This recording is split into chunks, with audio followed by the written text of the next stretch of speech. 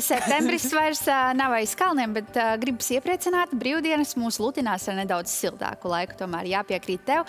Rīts šis ir bijis diezgan dzestras, gaisa temperatūras svārstās vien ap plus 9, plus 15 grādiem. Un tā kā vējš ir pavisam lēns, tad valsts austrumos arī saglabājas bieza migla. Tur vietām redzamība tikai ap 100-200 metriem. Līdz ar to autovadītājiem, kas dodas ceļā, ir jābūt ļoti uzmanīgiem.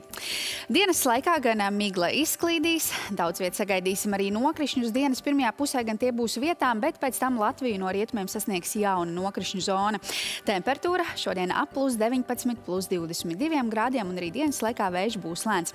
Tomēr pastāv risks, ka izveidosies arī kāds negaisa mākonis.